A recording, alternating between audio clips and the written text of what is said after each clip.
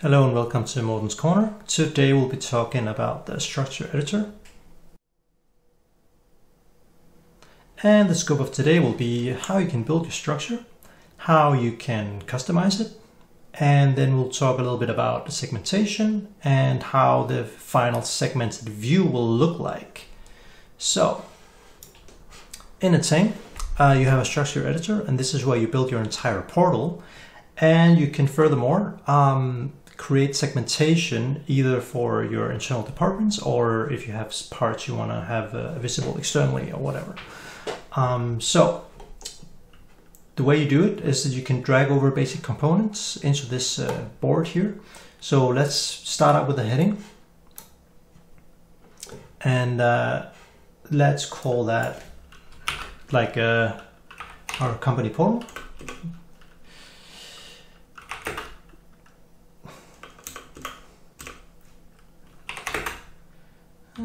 See, cover, there we go. Cool. And let's go ahead and have a line here. We'll just choose a solid line.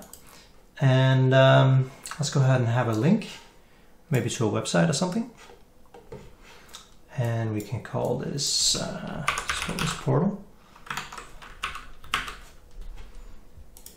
There we go and that could be portal.com whatever that is.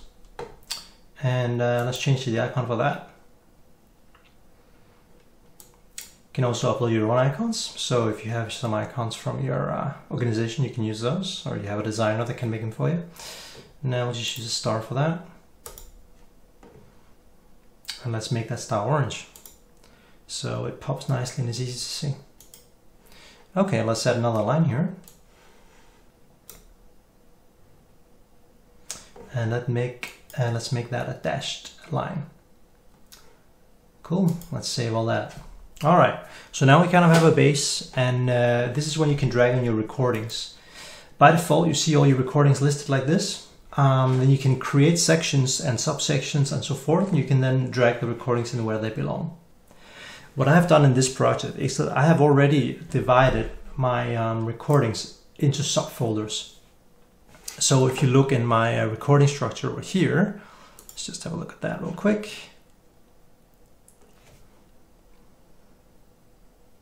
I have already made folders. So if I go into HR, you'll see my four recordings in uh, the HR. The cool thing about this is, I'll show you now, is you can drag the whole um, you can drag the whole thing across, so it automatically builds it for you. Let's see, I'll drag the HR now put it down there. So the HR um, will automatically create a folder uh, um, and then the, the subsequent processes for that. And each icon will have um, will have its icon selected based on the name of the of the folder or the work instruction that's in. So the HR has two people interacting. The process is this process icon. Uh, contracts is uh, two handshakes um, and so forth. So that's kind of that works. And of course you can change the icons and the colors and everything. So let's go ahead and do that. Let's change the colors for this. Just gonna select all those and uh, let's make those orange maybe. How about that?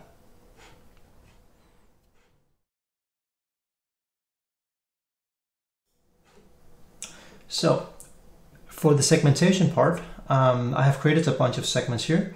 Each of these segments will create a unique hyperlink that is then relevant for that group of people so that I could uh, I can just send one link to a specific group of people uh, that is then you know snipped out from this portal.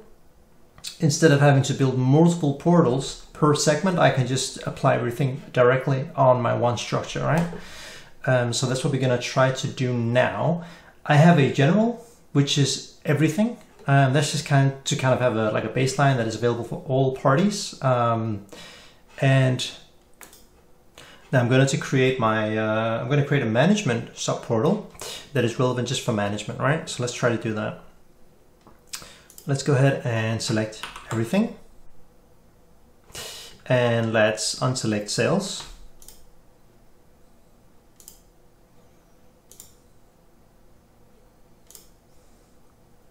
And let's unselect the Patch of HR.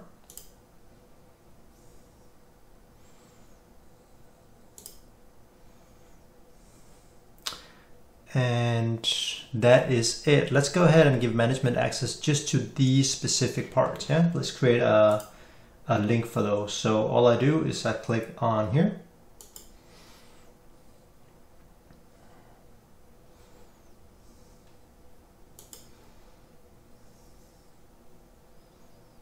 There we are. Let's try to save that. Okay. I'm gonna go ahead and, uh, and set the rest of these segments and I'll be right back. So I've created uh, a bunch of segment selections for this and uh, just to show you the preview, I have of course uh, the general portal.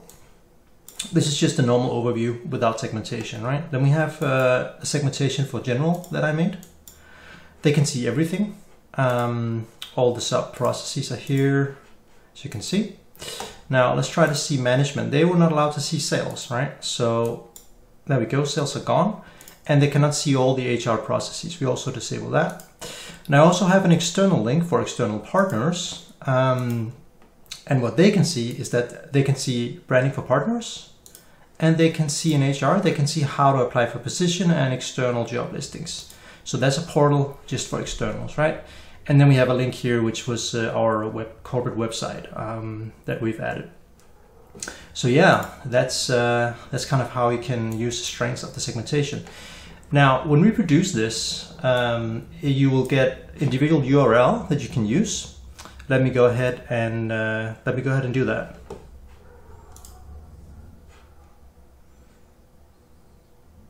Takes a little bit of time to produce. So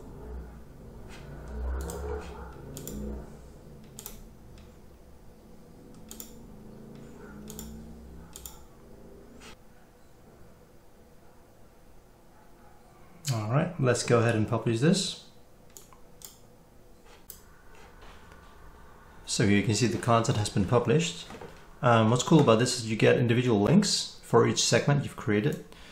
Um, that means that you can, uh, you can, for example, send this external link to your external customers.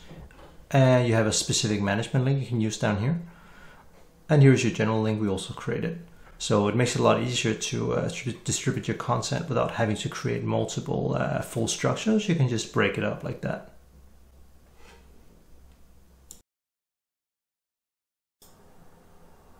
One more cool thing uh, about the uh, structure editor is your ability to share it. So what you can do is that you can share this if you want to have um, your colleague or your boss or someone in the organization tell you, you know, how do they think they look and give you some feedback. You can just share directly to that. And um, they don't even need ClickLearn. So um, they don't even need ClickLearn installed to be able to see it. We'll just send them a link. So either you can just get a link here that you can send yourself, or you can, of course, let and distribute it. If you let ClickLearn distribute it, it's just to ask you for their email, and that's it. Um, it's a really cool feature. Uh, so yeah, make sure you have someone uh, quality check your uh, your structure and your segmentation because you know that's that's what everyone's gonna see, right? Um, that's kind of your presentation of your final product. So for sure, cool. So just a brief example of how it looks when you access it from the web. This is what you'll get when you are uh, accessing the, uh, the full portal. So a couple of best practice pointers um, for the structure, right? Think about the target audience and how you're going to uh, sub-segment it. Make sure it's easy to navigate and there's really no need to overcomplicate it. Like don't make uh, tons of, of uh, subfolders where the recordings are in because then people have to click a lot around to find them. Um, so just, just make it so that it makes sense, yeah? For the segmentation part, have a general structure um, so that you have a kind of a structure that has everything in it so you give a good overview especially where if you have to do some sort of um, uh, some kind of QA on the content like or, or if you want to check out like what needs to be updated later on and stuff like that so you have a better overview Um, and of course, you want to segment your uh, substructure only when it makes sense. Uh, so you know, don't don't make tons of uh, of sub segments if you don't need to. Um, just, uh, just keep it simple where you can, and uh, then of course, you know, for the other video that is up regarding the authentication methods, uh, make sure you consider that um, when you provide access to the structure. And yeah, well, that's it for me. Uh, thank you very much for watching. I hope you uh, learned something today, and uh, I'll see you guys in the next one.